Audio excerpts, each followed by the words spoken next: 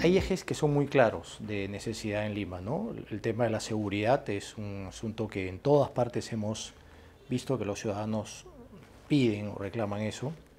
El tema del transporte, que a mí me gusta llamarlo movilidad porque es un concepto bastante más, más amplio. Eh, temas eh, que están referidos también a la salubridad o salud en general. Eh, el agua, Lima está en un, en un desierto, y hay un problema muy, muy serio respecto de abastecimiento de agua en algunos, en algunos lugares, en muchos lugares de, Lima, diría yo. Y también otro tema que es eh, bastante álgido es el asunto de la titulación y el saneamiento de, de las propiedades. Porque de ahí, de este último punto, por ejemplo, se desprende algo que nadie ha hablado de ello. El 40% de los casos de violencia tienen su origen en la tenencia de tierras, en la tenencia de propiedades. El gobierno tiene que hacerse como si fuese una conversación, escuchando, teniendo los espacios participativos, y los espacios participativos que nosotros hemos implementado en Miraflores son gobernando con el vecino, que es abrir las puertas a, las personas los días miércoles, el hecho de haber eh, también establecido una serie de canales bidireccionales, utilizando sobre todo las redes sociales, me refiero a Facebook, Twitter, Instagram, además eh, lo que es el WhatsApp, lo que son todos los medios de comunicación que pueden ser más masivos para poder escuchar, procesar y después transformar. Esa es una idea que tiene que estar presente, de todas maneras.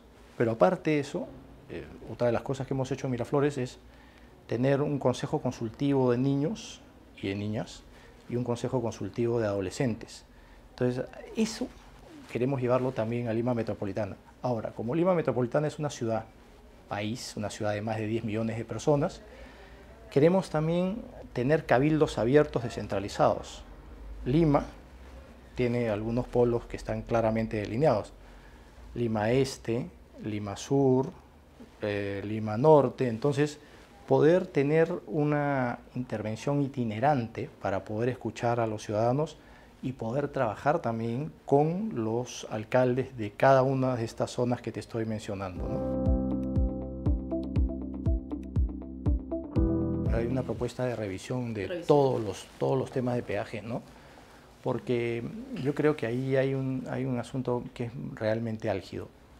Eh, tenemos casos como el de Puente Piedra, por ejemplo, pero hay algunos otros más que están en un, en un estado de latencia y hay que ver si efectivamente eh, hay una satisfacción para los ciudadanos respecto de lo que se ha brindado como servicio y lo que se cobra por los peajes.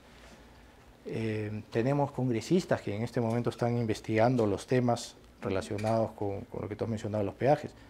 Pero la autoridad metropolitana un poco que se ha hecho de la vista gorda y yo sí, cuando ingrese a ser alcalde, voy a revisar el tema de los peajes.